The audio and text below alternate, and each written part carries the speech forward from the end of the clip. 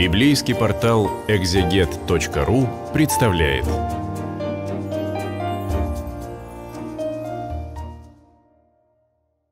Приветствуем вас, дорогие братья и сестры, на библейском портале «Экзегет». Мы вместе с вами продолжаем изучать Священное Писание, Евангелие от Луки, и э, у нас такие вот драматичные, самые драматичные страницы Священного Писания, связанные с судом над Господом Иисусом Христом и, собственно, э, самой крестной смертью. Э, так что читаем. «И поднялось все множество их, и повели его к Пилату» и начали обвинять его, говоря, «Мы нашли, что он развращает народ наш и запрещает давать подать кесарю, называя себя Христом Царем».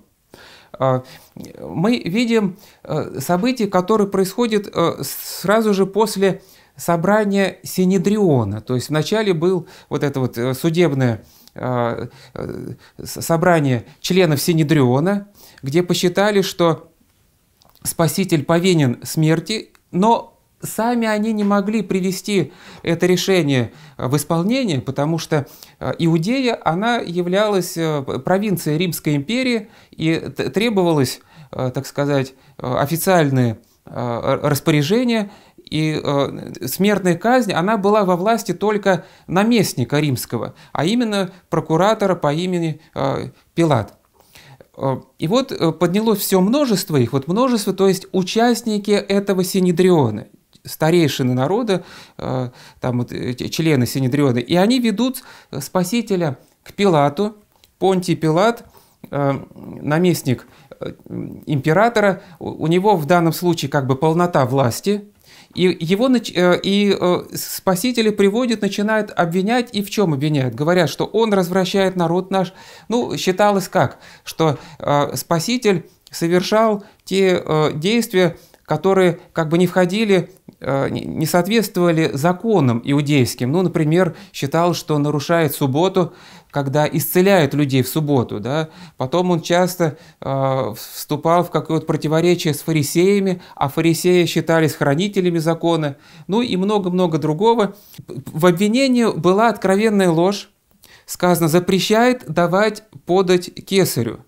Но ведь Спаситель прямо говорил, что э, отдавайте кесарю кесарева, потому что, потому что на монетке чье там изображение кесаря, да, ну вот он претендует на э, эти монеты, вот и отдавайте ему эти монеты. А, спаситель э, не запрещал.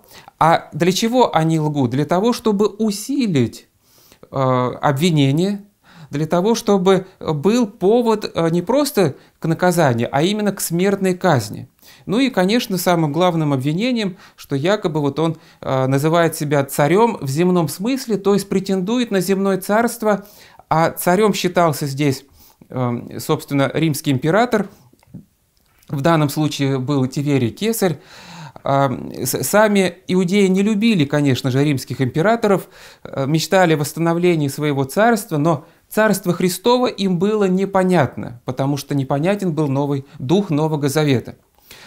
А, Пилат спросил его, «Ты царь иудейский?» Он сказал ему в ответ, «Ты говоришь». Пилат сказал первосвященникам и народу, «Я не нахожу никакой вины в этом человеке». Вот интересный очень такой диалог. Видно, что Пилат, э, видимо, его постоянно доставали со всякими там э, обвинениями, все время кого на кого-то жаловались, приводили. И Пилату все это надоело, он особо не хочет разбираться.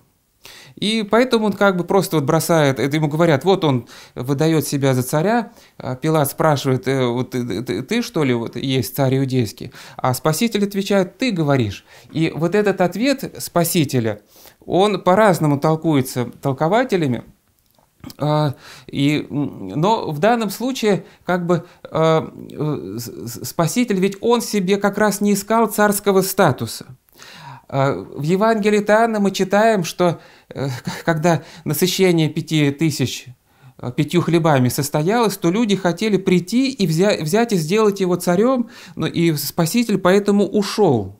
Он не хотел, чтобы его делали земным царем. И поэтому он говорит, что э, это вот ты так э, говоришь, не я так говорю, да, а ты, ты говоришь. То есть, э, как бы некое противоречие очевидной реальности – слов Пилата. И Пилат, э, видя, что Спаситель сам себя не называет земным царем, не претендует ни на какой там императорский престол, говорит первосвященникам, я не нахожу в нем никакой вины, то есть чего вы привели. Но они настаивали, да, причем тут интересно, что Пилат сказал первосвященникам и народу, то есть вот в начале в самом э, члены Синедриона упоминаются, которые приводят к Пилату, повело, э, подняло все множество их. И, видимо, публично происходит этот диалог, да, и тут же как бы подтягивается народ, который слушает, обращает внимание, и вот Пилат говорит уже не только первосвященникам, но еще и народу. Я не нахожу никакой вины в этом человеке. А, оказывается, этого недостаточно.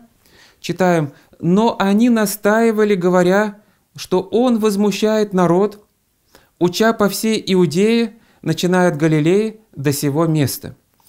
А обвинителям что важно? То есть они пытаются как бы а, вот цепляться за то, что а, в чем Пилат действительно может к ним прислушиваться.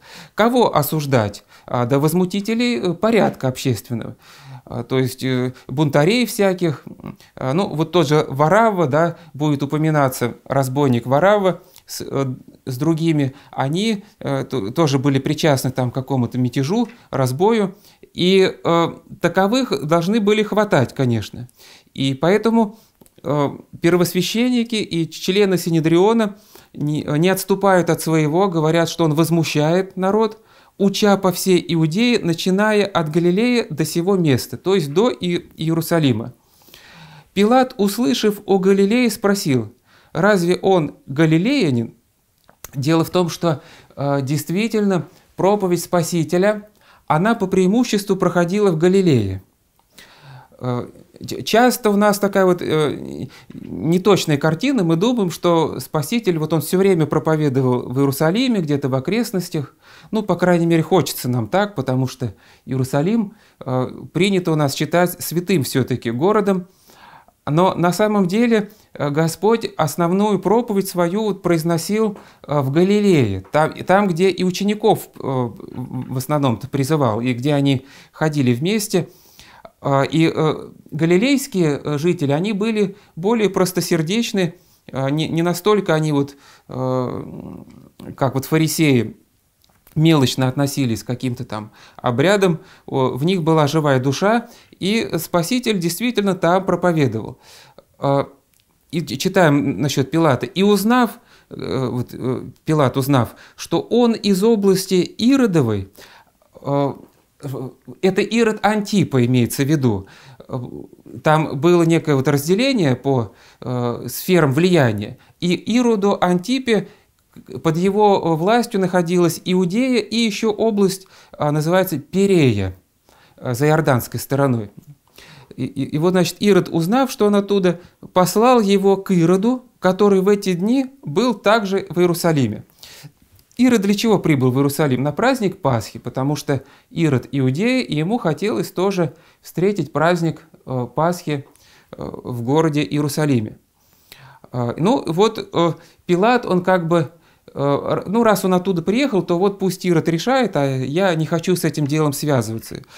То есть видно, что Пилату все это неинтересно, скучно, э, и иудеи ему давно надоели.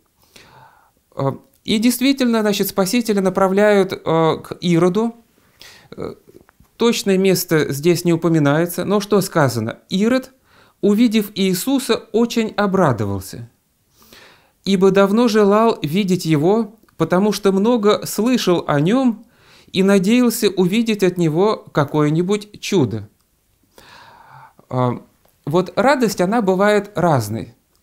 Бывает чистая радость, искренняя, когда мы а, встречаем любимого человека, да, или когда а, у нас душа наша пламенеет любовью к Богу, да, и мы радуемся о благодати Божией.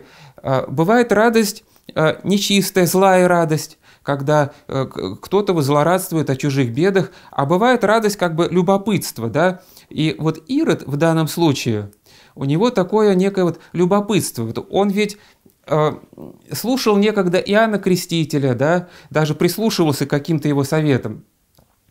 Он знал, что есть чудотворцы, что совершаются чудеса, и он много слышал о Спасителе, что через Спасителя действует некая сверхъестественная сила, как говорили, и Ироду хотелось все это увидеть, вот как любопытному зрителю увидеть действие фокусника на сцене.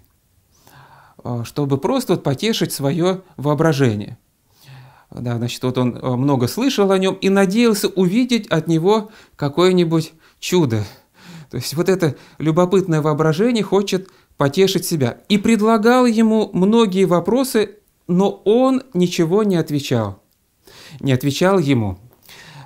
Понимаете, э, Спаситель вообще чудеса не совершает на показ – Поэтому даже люди, которые действительно у Бога обрели дерзновение, они никогда не скажут, вот я сейчас выйду на сцену или на арену и перед всеми помолюсь, чтобы Бог совершил на показ для вас чудо.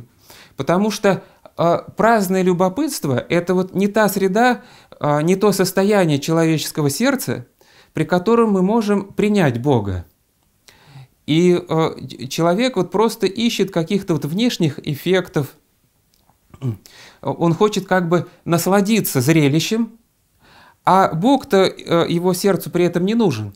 И Ирода не интересовала истина. Он не собирался быть христианином, не собирался открывать свое сердце Христу, а, э, и поэтому Спаситель э, молчит, э, Спаситель сердцеведец и не, удостаивает никакого ответа.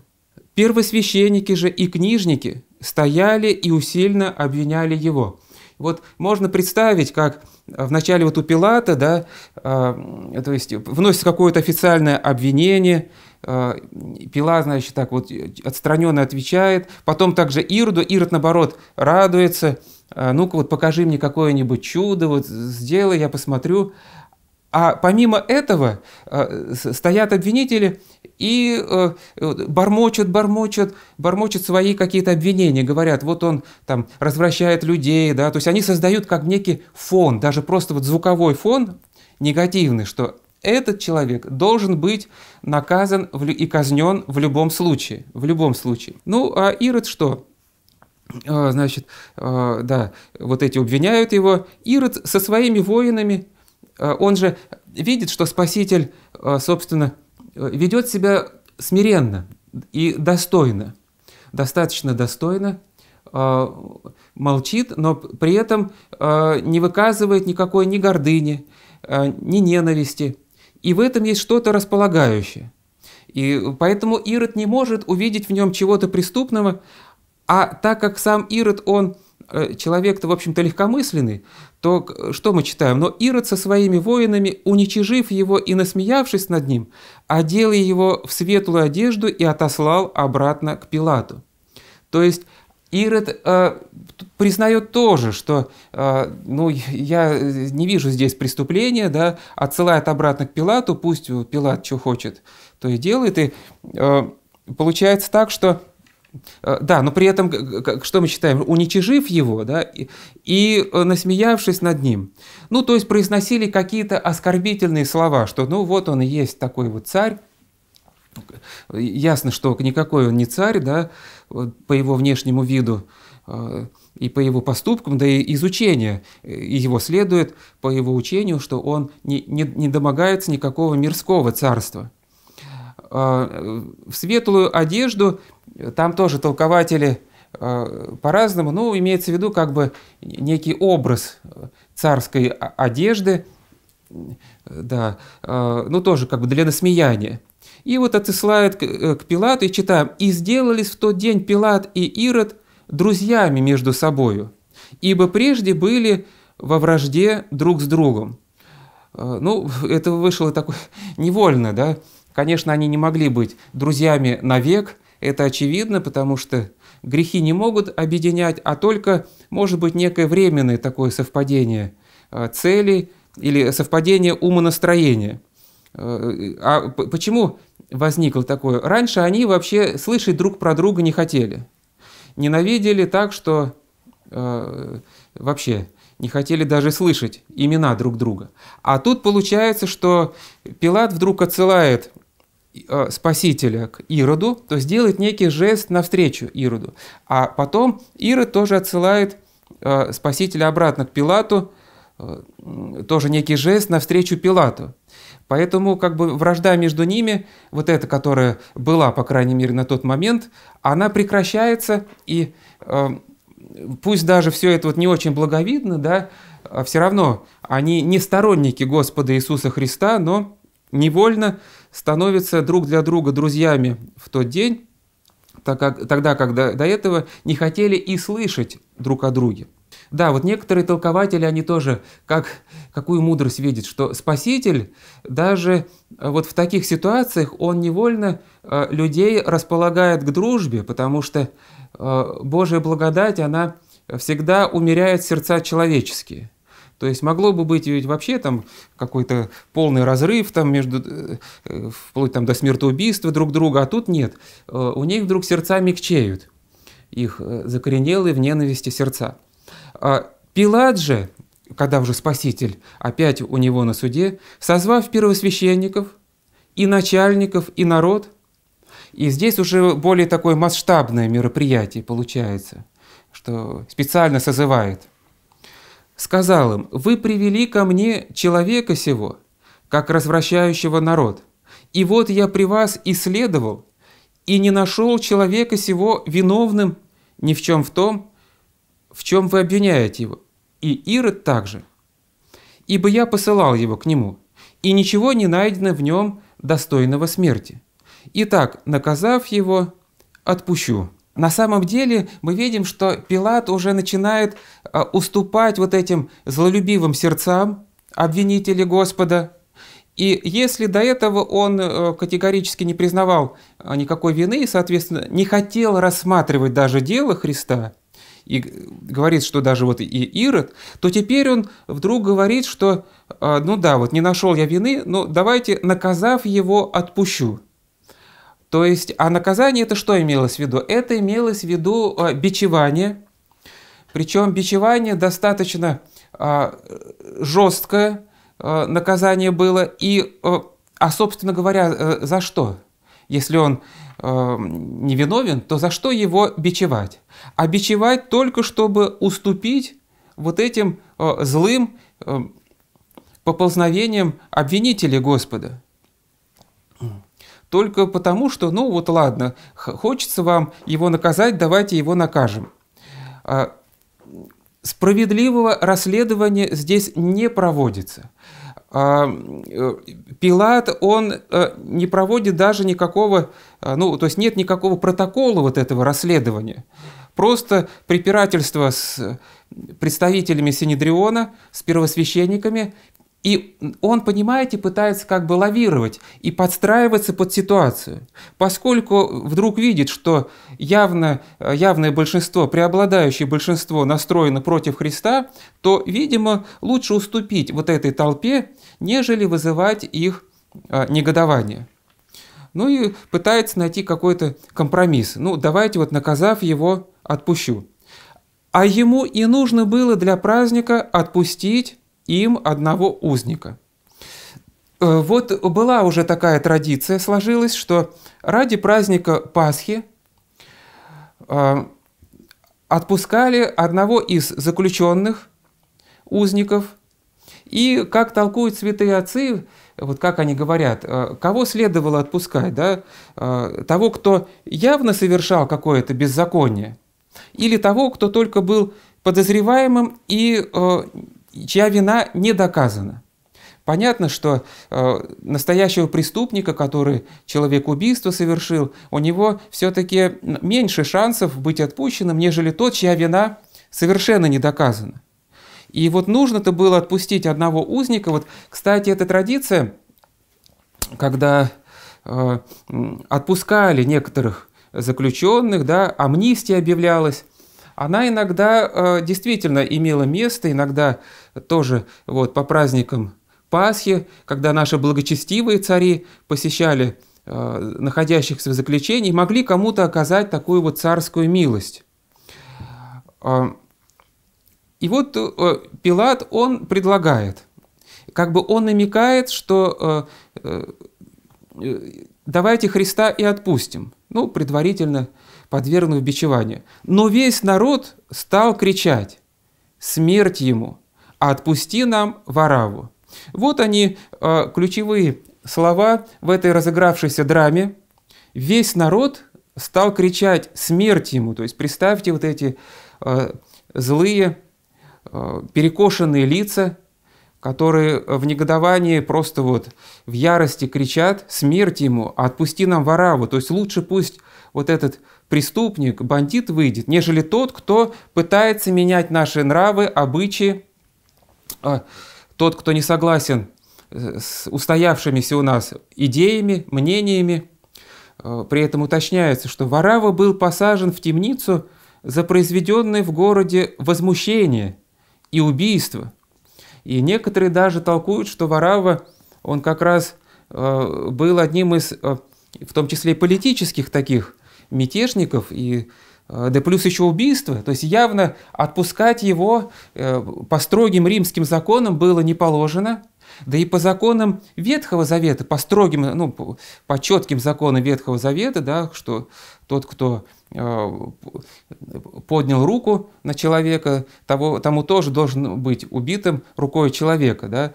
А, и здесь э, то и другое, то есть и политическое какое-то возмущение, и вот убийство – ну, может быть, и другое было возмущение, но некоторые толкования э, проводят, видят политические мотивы. А, и вроде как бы а, все здесь очевидно. Но нет, вот злоба людская, она направляется против Христа, и э, причина этой злобы, так сказать, вот в самой злобе. Вот как э, кто-то из античных философов, он так говорил, что если бы истина воплотилась и стала жить на земле, вот приняв образ человеческий, и ходила бы посреди людей как человек, то люди не только не приняли бы истину, потому что она стала бы обличением вот этого развратного образа жизни людей, то есть люди погрязли во лжи, а тут вдруг ходит истина. Люди не просто бы не приняли, а они подвергли бы ее самым страшным истязаниям и, под, э, и в общем, умертвили бы ее самой страшной смертью потому что э, человеческая злоба, человеческая ложь, она не может вынести чистоту, добро и истину. И когда истина действительно воплотилась, э, когда сам Христос, вот воплотившийся Сын Божий, пришел, то люди выплеснули вот эту э, злобу, копившуюся в их душах. Пилат снова возвысил голос, желая отпустить Иисуса. Но они кричали «Распни, распни его!» Он в третий раз сказал им Какое же зло сделал он? Я ничего достойного смерти не нашел в нем. Итак, наказав его, отпущу. То есть Пилат а, выражает удивление. Пилат удивляется, а, что, мол, с вами такое происходит, что вы настолько жестоки, не, не хотите проявить э, милость к человеку. Я же не нашел в нем никакой вины. Ну, э, вы настроены против него, ну давайте накажем его э, путем бичевания и отпустим. Но они продолжали с великим криком требовать, чтобы он был распят. А, вот те, кто э, знают вот эту культуру вот этих восточных народов, и где эмоции, они могут просто вот зашкаливать, те могут представить, какой это стоял крик, вой, рев, э, смерть ему, смерть его, распни, распни – и э, мы читаем «И превозмог крик их и первосвященников». То есть, э, ну если все, все буквально собравшиеся, те, кто э, вот здесь стоят перед Пилатом, все требуют смерти, а Пилат не хочет как бы связываться, хочет себя в стороне соблюсти, умывает руки, и Пилат решил быть по прошению их и отпустил им посаженного за возмущение и убийство в темницу – которого они просили, а Иисуса предал в их волю. То есть Пилат как бы отгораживается, думая, что э, совесть, э, ну, голос совести можно как бы ее на время заглушить, и что это потом ну, никак не проявится. Но на все века вот записано это поведение Пилата, чтобы мы знали, что э, вот такое двуличие, да, такая вот уступка, она э, ничем хорошим не обернется. Э, и вот Спасители отдают этим страшным людям э, на растерзание, и когда повели его, читаем мы, то, захватив некоего Симона Киринеянина, шедшего с поля, возложили на него крест, чтобы нес за Иисусом. Каждый из Евангелий дополняет друг друга, там вносятся какие-то детали. Мы знаем, что на самом деле Пилат и подверг а, Спасителя вот этому тяжелому бичеванию. И истязания были таковы, что человеческие силы Христа, они начинали иссякать. И вот тут вот надо понять, что Господь, Он понес всю человечность, все человеческое, и, соответственно, ту вот меру человеческих сил, которая имеет свой предел.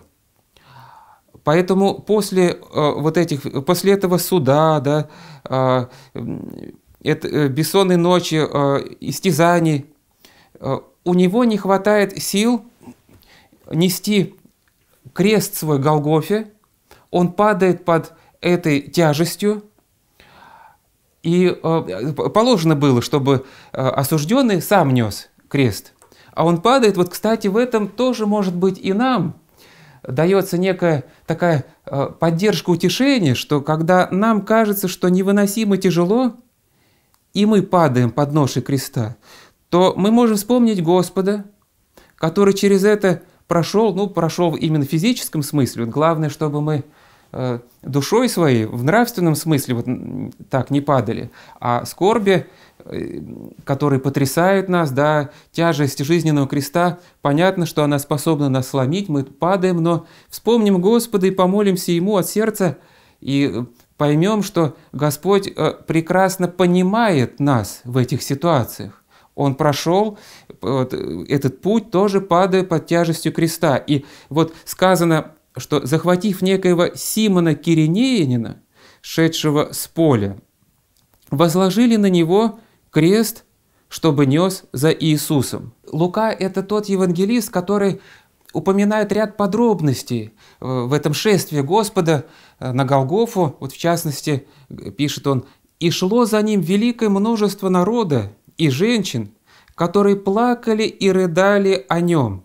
То есть все-таки было много и тех, которые сострадали и скорбели, проливали слезы, но голос э, злодеев превозмог.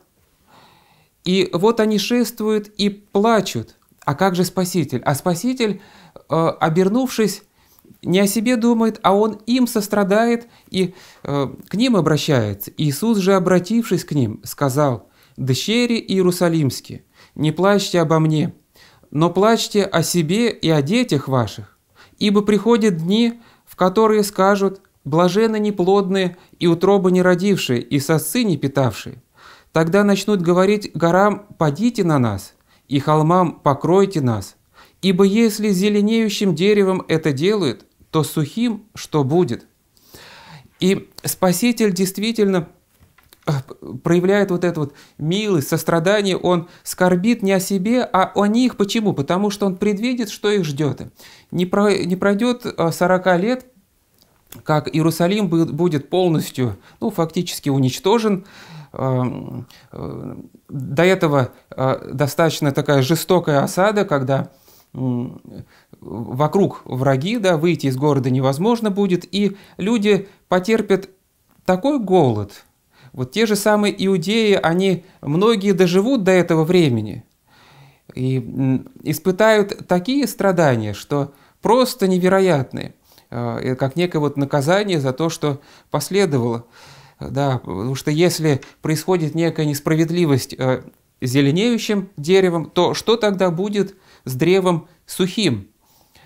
И э, вот это шествие где сам Спаситель, да, где вот Симон Киринеянин, где за ним идут еще женщины и люди, которые плачут и сострадают Господу, а Он сострадает им. Но помимо этого еще сказано, вели с ним на смерть и двух злодеев. То есть вот одного злодея отпустили в Араву, а было еще два, которых участь вот это э, снисхождение обошла, они оказались тоже осуждены. И когда пришли на место, называемое Лобное, то есть место э, на возвышенности, э, возвышенное, оголенное, э, каменистое, подобно открытому лбу, конечно, есть разные такие предания, толкования, что это место, где некогда был погребен сам праотец Адам, да, и люди еще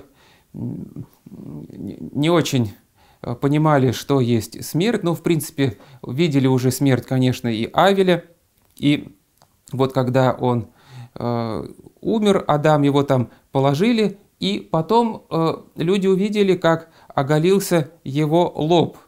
И вот считается, что на этом месте впоследствии как раз и распят Господь Иисус Христос, и капли крови, они достигли главы Адама, как бы новый Адам, получается так, он непосредственно искупает своей кровью ветхого Адама. Ну, э, то, что он, э, Адам там погребен был, это, конечно, такое предание, которое э, трудно поддается какому-то доказательству.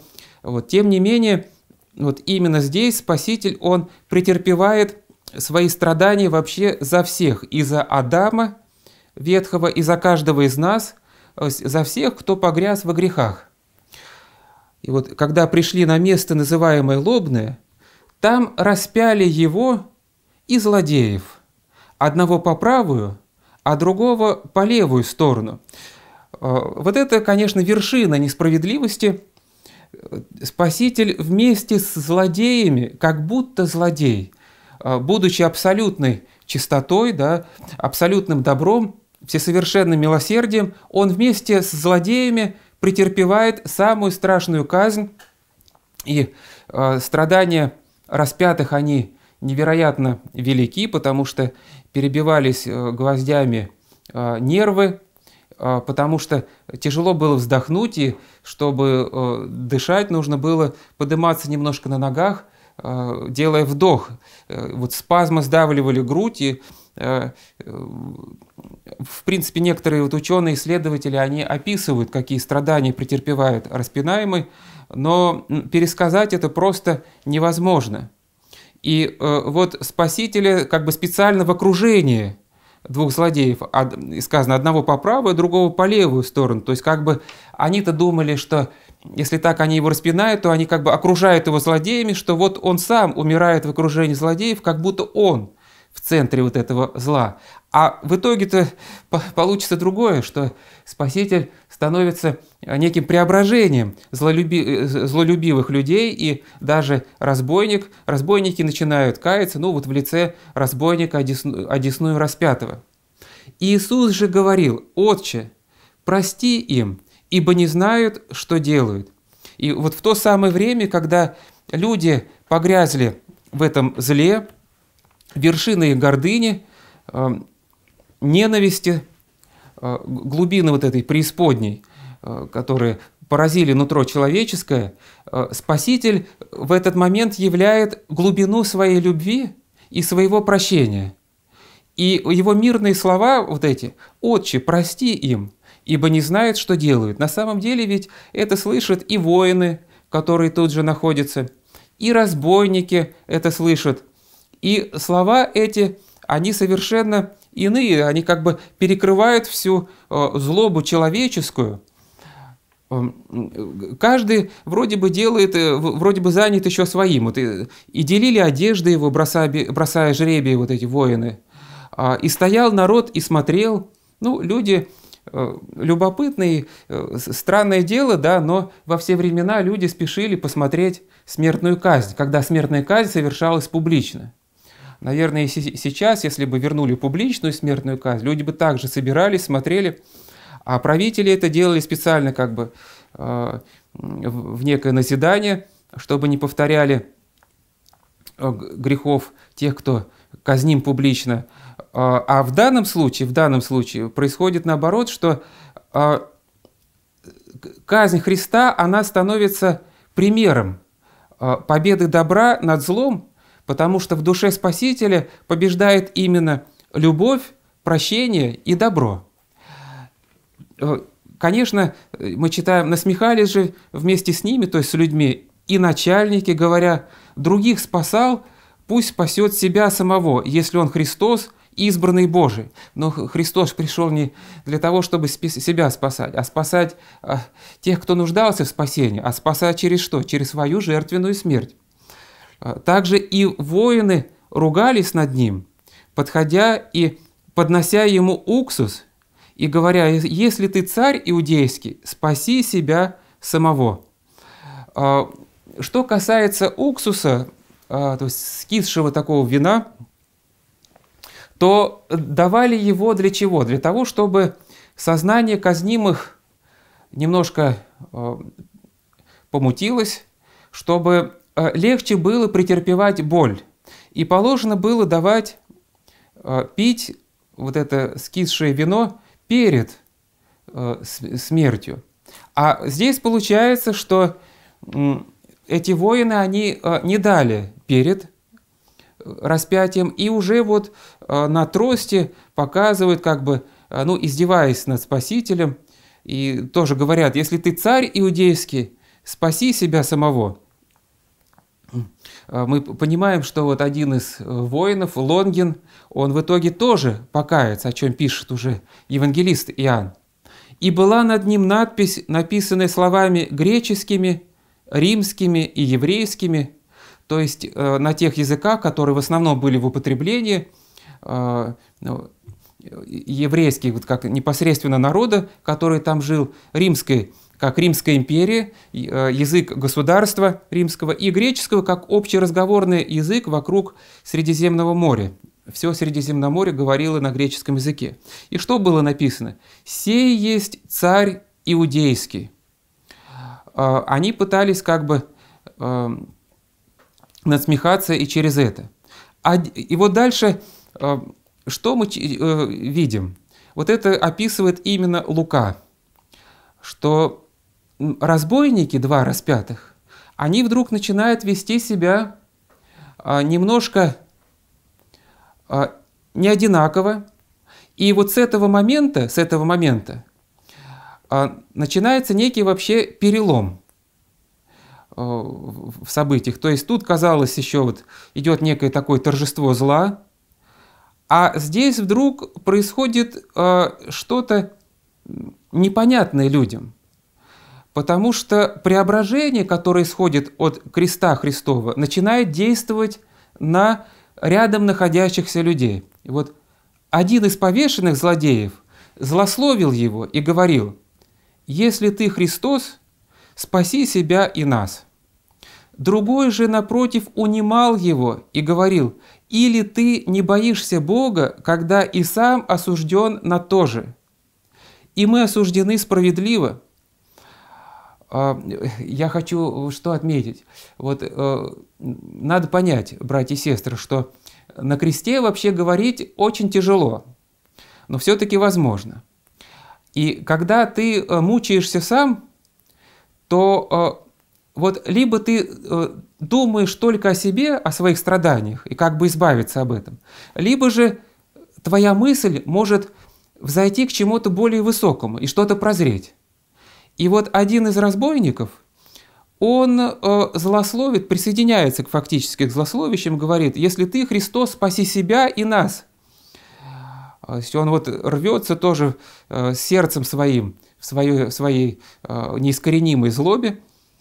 А вот другой вдруг являет э, смирение и какую-то тишину сердечных чувств, и из этой кротости и смирения начинает произносить. То есть один из разбойников, распятый справа, он э, фактически начинает преображаться духовно – и говорит, что мы-то ведь осуждены справедливо, потому что достойны по делам нашим приняли, а он ничего худого не сделал. Вот этот разбойник, он видел, как Спаситель молится, «Отче, прости им, ибо не знают, что делают». И э, высота смирения терпения и любви Господа, она действует э, просто вот преображающе на душу этого разбойника. «И сказал Иисусу, помяни меня, Господи, когда приедешь в Царствие Твое». И сказал ему Иисус, «Истинно говорю тебе, ныне же будешь со мною в раю». Вот э, как просто и кротко отвечает Господь, да, что вот сегодня же ты, ныне, то есть сегодня же ты будешь со мною в раю. Э, Спаситель это вот э, говорит как некую очевидность, как некую фактическую данность, и действительно в, тот же день э, они переходят в иной мир. Так-то раз, могли до трех суток висеть на крестах, мучиться, ну, никак не считанные часы. Это могло быть намного дольше. И вот э, этот разбойник, разбойник э, в богослужебных песнопениях, текстах нашего богослужебния, там говорится, что разбойник сподобился познания богословия, э, и что он стал в каком-то смысле первым христианским богословом. Ну почему? Потому что он прозревает Бога, Слово, который рядом с ним э, претерпевает страдания за людей. То есть он прозревает самые таинственные истины, то, что с ними распят не просто человек, ведь он же э, его называет Господом, помяни меня в царстве твоем. То есть Спаситель, который властвует над жизнью и смертью. Потому что если бы он умер, то чего просить? Помяни меня, когда придешь в царствие твое, да, вот сейчас все умрут и все. А, нет, он верует, в нем пробуждается вера, вот как говорят тоже толкователи, святые отцы, что разбойник, он явил подвиг веры, подвиг надежды и подвиг любви. Э, любви, потому что он проникается э, любовью к Господу, он не себя жалеет, да, он э, жалеет и говорит, что Спаситель-то страдает незаслуженно, и любовь ко Христу в его сердце пробуждается. Он верует во Христа, э, как э, в царя, в подлинного царя. И он надеется, он являет подвиг надежды, потому что э, надеется, что Господь действительно примет его в свое царство. Вот это вот три подвига – веры, надежды, любви. И прозревает самые высокие богословские истины, что распятый с ними не просто человек, а тот, кто выше человека – распят Сын Божий, что Он является э, царем рая, и в это царство Он может принять, а принимает через что? Через вот эти искупительные страдания. Было же около шестого часа дня, и сделалась тьма по всей земле до часа девятого.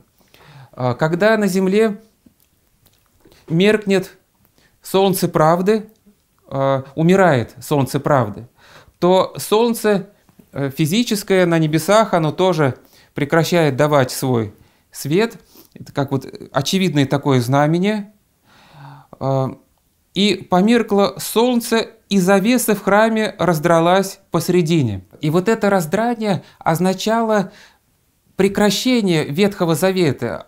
Э, завеса раздирается, которая закрывала святой святых, значит, Господь Бог уже не обитает в ветхозаветном храме, Э, святой святых обнажается, и теперь созидается уже новый христианский храм. А, есть такое вот из преданий тоже, оно э, в древнее время запечатлено, что там не просто раздралась завеса, а э, раскололся свод, который держал эту завесу, обрушившись. Мы из некоторых, из других Евангелий знаем, что сопровождалась крестная смерть также землетрясением, и, может быть, это землетрясение как раз способствовало разрушению свода. Иисус, возгласив громким голосом, сказал, «Отче, в руки Твои предаю Дух мой». И сие сказав, испустил Дух. То есть э, своим сознанием э, Спаситель не отлучался от Бога, Отца. Он э, до самой последней минуты пребывал в здравом сознании, и святые отцы э, еще так толкуют, что э, в этих словах, вот «и сие сказав, и спустил дух», мы видим добровольную смерть Господа. Не то, что смерть как бы захватила Христа, и поэтому он умер, а некое его соизволение на то, чтобы смерть прикоснулась ему. Сие сказав, и спустил дух. Сотник же, видев происходившее, прославил Бога и сказал, истинно человек этот был праведник. То есть вот уже все как бы идет совершенно в другую сторону. А, если поначалу э, казалось, что зло, оно э, всю эту ситуацию к самым глубинам преисподним не сводит, то здесь мы видим, что начиная с разбойника, происходит уже потихоньку преображение окружающего мира, и все устремляется вверх. И если воины до этого смеялись, то тут получается сотник, он прославляет Бога, именно э, Бога христианского, не языческого, и говорит, истинно человек этот был праведник.